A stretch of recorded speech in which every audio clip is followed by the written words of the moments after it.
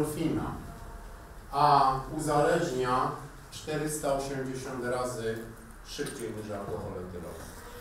Teraz możecie sobie uzmysłowić, jaki to jest, jak potężny jest ten narkotyk. E, Był stosowany w lecznictwie, w Polsce również był stosowany, natomiast już od wielu lat nie jest stosowany, ponieważ faktycznie uzależniał pacjenta. Ja nawet w rozmowie z narkomanami miałem takie opinie, że jeden, dwa razy wystarczy na to, żeby już stać się takim pełnoprawnym narkomanem, jeżeli mówimy tutaj o heroinie. Więc no, heroina niestety, ale już nie jest żadnym e, środkiem leczniczym w Polsce. No tą heroinę też można by było podzielić, tak? Ta najczystsza, krystaliczna, tak zwana white snow posiada około 90-95% czystości, chociaż tak naprawdę na rynku nie zdarzają się takie czystości. Raczej to są dużo gorsze, a już ta naprawdę bardzo czysta jest generalnie w Polsce nie do zdobycia. E, tutaj e, tak zwana biała, czysta rzędu czystości 40-50%. E, No już częściej się pojawia, aczkolwiek najczęściej pojawia się na rynku ten Sugar. Cały czas powtarzam, jest to bardzo potężny narkotyk, bardzo silnie uzależniający. Mało tego, bardzo ciężko się leczy ludzi, którzy e, brali właśnie heroinę.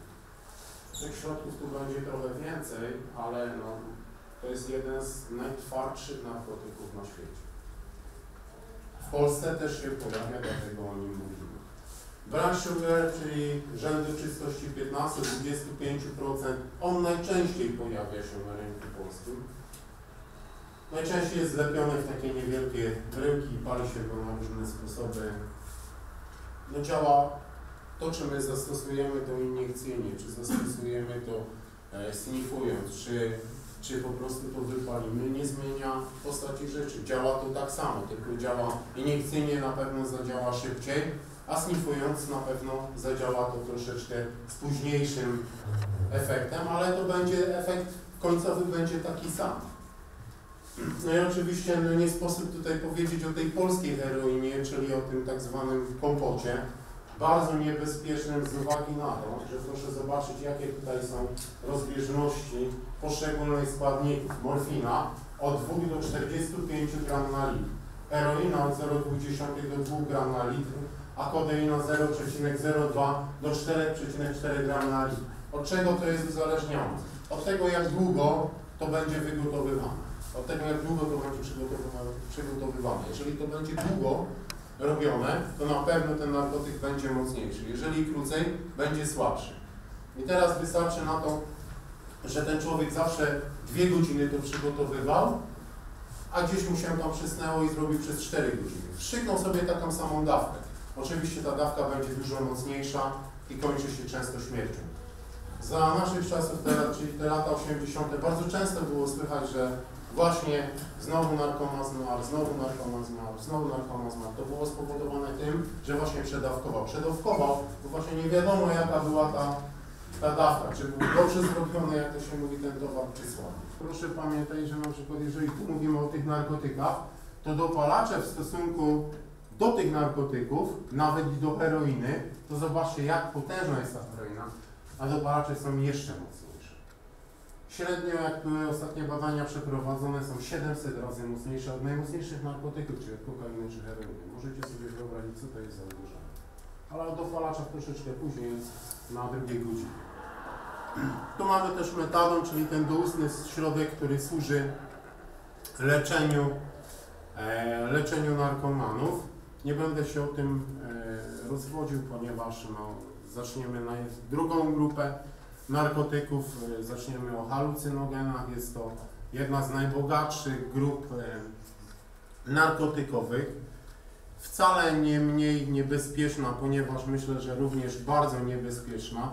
Zaraz zobaczycie, ile jest tych e, środków. Te środki są palone, snifowane, żółte. Do nich się zalicza właśnie konopie indyjskie, do nich się zalicza również grzyby, LSD, meskaliny, grzyby, no jest tego cała masa. Tutaj doszliśmy właśnie do konopi indyjskich, które no, wywołują wiele kontrowersji, szczególnie w środowisku młodych ludzi. Chciałbym, żebyście tylko pierwszą rzeczą, którą chciałbym powiedzieć, to jest to, że ponad 90% inicjacji związanej z zażywaniem narkotyków to jest właśnie marihuana. Czyli zaczynamy swoją przygodę z narkotykami od palenia marihuany. No nie wiem, czy ktoś zaczynałby przygodę swoją od jakiegoś LSD czy od amfetaminy. Raczej nie. Zaczynamy od czegoś słabszego niby, tak? Jak to jest z tą marihuaną? Proszę pamiętać, że tej marihuany, tych e, odmian marihuany jest wiele. To nie jest jedna odmiana. To, to są te bóle fantomowe. Jeżeli ktoś ma odjętą nogę, czyli jest po amputacji nogi, ręki, a odczuwa różne bóle, zakończyć ten ból, ma w sposób jakiś tam zaburzyć ten proces bólowy,